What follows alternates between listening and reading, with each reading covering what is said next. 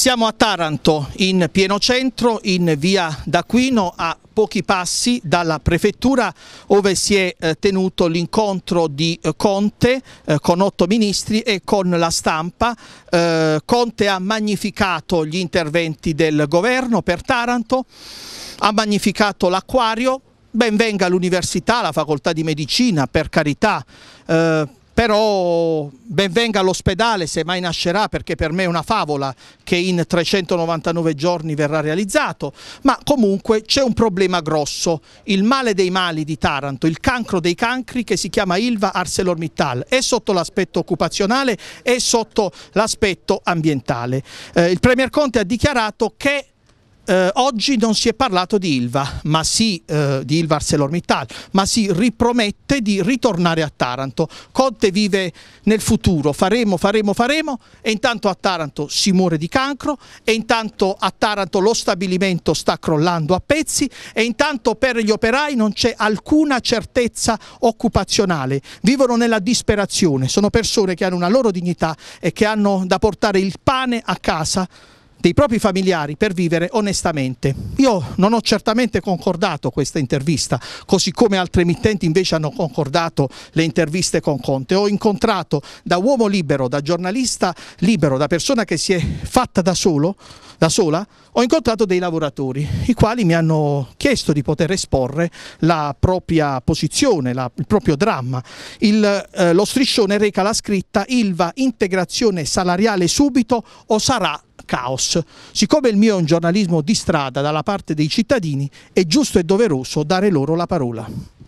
Ok, partiamo dal presupposto che eh, io insieme a un altro collega eravamo stati invitati a partecipare alla, alla, riunione con i sindacati ma non abbiamo avuto nessuna risposta. Forse gli operai effettivamente danno fastidio a quello che dicono loro. Uh, la seconda cosa, volevo fare una domanda al signor Conte, è venuto qui a una cosa bellissima all'Università Taranto. Se noi non abbiamo un presente, con quale futuro i nostri bambini devono andare all'università? Niente, poi siamo abbandonati. Noi stiamo qui abbandonati, sotto non ci pensa nessuno, né sindacati né, né istituzioni, abbandonati a 800 euro al mese. Non so per quanto potremmo andare ancora avanti. Ho dichiarato oltretutto che la fabbrica sta letteralmente crollando a pezzi, sta collassando. Eh, Conte cambiava argomento, Conte parlava dell'acquario. Ma Conte si fida molto di chi è all'interno del, dello stabilimento, parlo sempre di dirigenti, forse non ha mai parlato con, con gli operai effettivamente, non sa cosa significa lavorare in acciaieria, noi ci siamo stati vent'anni e sappiamo com'è quella situazione. Voi siete tutti liberi, eh, operai liberi, non legati a, a, sigle sindacali. Proprio questo per dimostrarvi che non c'è eh, nessuna strumentalizzazione ma c'è la voglia di dare voce a chi non ha voce. Questa è la mia mission di giornalista. Prego. Buongiorno, noi siamo veramente delusi dagli atteggiamenti avuti dal Presidente Conte perché come ha detto il collega stamattina abbiamo fatto richiesta per partecipare all'incontro solo che l'operaio viene sempre scartato dappertutto. Io non voglio... Non è, prego, prego. Non è di certo colpa nostra se lo stabilimento versa in questa situazione e siccome noi in tutti questi anni abbiamo respirato male abbiamo pagato un sacco di tasse, non possiamo essere esclusi da qualsiasi tipo d'accordo positivo che, dove rientriamo tutti noi operai, dove andiamo a chiedere a gran voce l'aumento del salario. Con 800, 800 euro al mese si fa la fame?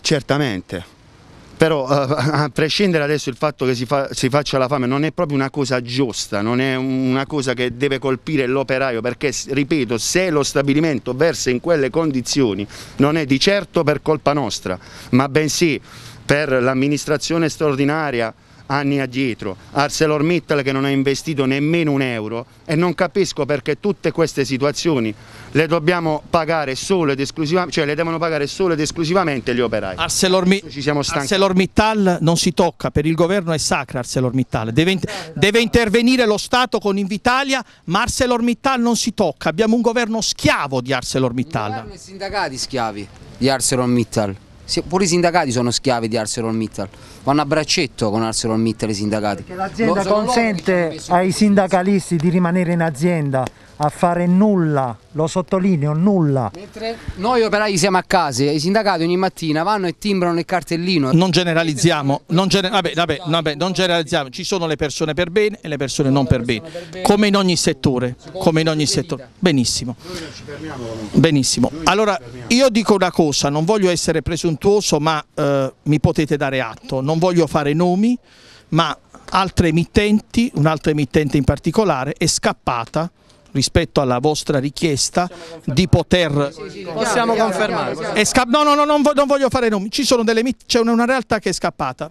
Io sinceramente credo di essere un piccolo giornalista, ma con la schiena dritta. La Abbiamo chiesto la sua attenzione, abbiamo chiesto l'attenzione anche delle altre emittenti, solo che le altre emittenti sono andati via. Io ci sono, loro no. Su questo c'è da dare atto. più Conte e i sindacati degli operai. Allora, per l'ennesima volta si è visto da parte di questa emittente che ha- non ha a cuore il problema delle famiglie ma ha a cuore quello che viene detto nelle camere is- istituzionali. Sarò sempre dalla vostra parte, dalla parte dei lavoratori, perché vengo da umili origini, non vengo dalle alte sfere.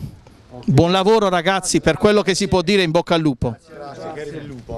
Ma noi non ci fermiamo, noi lotteremo sino a quando la nostra voce arriverà dove deve arrivare, perché noi con le nostre famiglie non ce la facciamo più. Se È loro il sistema che ci vuole vedere incazzati e noi siamo pronti ad incazzarci. Oltre il sistema a volerci vedere incazzati sono i sindacati che remano contro di noi operai. rema contro noi, quindi anche il avesse- governo. avessero diciamo, portato a termine gli obiettivi comuni non saremmo di, qui- di certo il qui problema, no, un'ultima cosa, il problema è che lo stipendio è quello, ma ci sono da pagare le tasse, ci è arrivata la spazzatura, c'è da pagare adesso.